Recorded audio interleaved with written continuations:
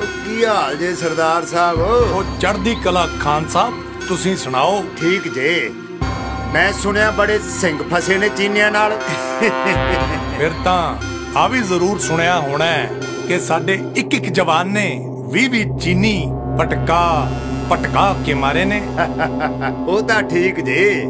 ਪਰ ਆਖਰੀ ਪੂਰੀ ਲੱਗਦਾ ਗੱਜ ਗੱਜ ਚੌੜੀ ਛਾਤੀ ਵਾਲੇ ਨੌਜਵਾਨਾਂ ਦਾ। ਪਰ ਅਗਲੀ ਨਸਲ ਤਾਂ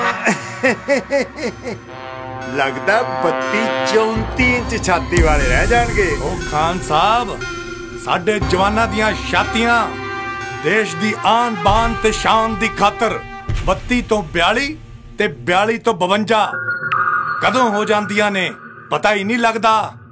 ਨਾ ਭੁਲੇਖੇ ਚ ਨਾ ਰਿਓ। ਨਾਲੇ ਤੁਹਾਨੂੰ ਵੀ ਕੋਈ ਦੱਸਣ ਦੀ ਲੋੜ ਹੈ ਲੱਗਦਾ ਹੈ ਗੁੱਸਾ ਕਰ ਗਏ ਸਰਦਾਰ ਸਾਹਿਬ। ਤੁਸੀਂ ਲੈਨਿਨ ਦਾ ਨਾਮ ਤਾਂ ਸੁਣਿਆ ਹੋਣਾ ਵਲਾਦੀਮੀਰ ਲੈਨਿਨ। ਰਸ਼ੀਆ ਦਾ ਮਹਾਨ ਕ੍ਰਾਂਤੀਕਾਰੀ ਹੋਇਆ। ਉਸਨੇ ਕਿਹਾ ਸੀ ਕਿ ਤੁਹਾਡੇ ਦੇਸ਼ ਦੇ ਲੋਕਾਂ ਤੇ ਜਵਾਨੀ ਦੇ ਮੂੰਹ ਤੇ ਕਿਹੋ ਜਿਹੇ ਗੀਤਾਂ ਦੇ ਬੋਲ ਨੇ। ਬਸ ਤੁਸੀਂ ਮੈਨੂੰ ਬੋਲ ਸੁਣਾ ਦਿਓ। ਮੈਂ ਤੁਹਾਡੇ ਦੇਸ਼ ਦਾ ਭਵਿੱਖ ਦੱਸ ਸਕਦਾ ਹਾਂ। ਨਾਲੇ ਸਰਦਾਰ ਸਾਹਿਬ ਤੁਹਾਡੇ ਵਾਲੇ ਗੀਤਾਂ ਦਾ ਤਾਂ ਸਾਰੀ ਦੁਨੀਆ ਨੂੰ ਪਤਾ ਹੈ।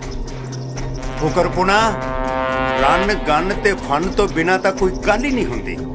ਡਰ ਤਾਂ ਇਹ ਵੀ ਲੱਗਦਾ ਸਰਦਾਰ ਸਾਹਿਬ ਕਿਤੇ ਚਿੱਟੇ ਕਾਲੇ ਤੇ ਹੋਸ਼ੇ ਗੀਤਾਂ ਦੇ ਚੱਕਰਾਂ 'ਚ ਛਾਤੀਆਂ 32 ਤੋਂ 22 ਇੰਚੀ ਨਾ ਰਹਿ ਜਾਣ।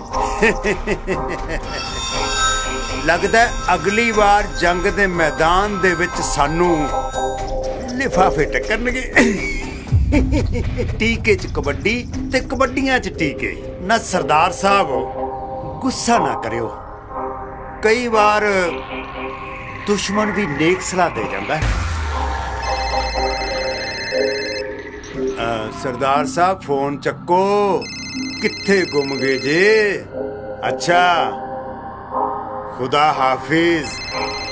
ਓ ਬੋਲ ਮਿੱਟੀ ਦਿਆਂ ਬਾਵਿਆਂ ਓਏ ਅੱਜ ਨਹੀਂ ਬੋਲਦਾ ਜਵਾਨੀ ਬੋਲਦਾ। ਹੈਲੋ। ਕੀ?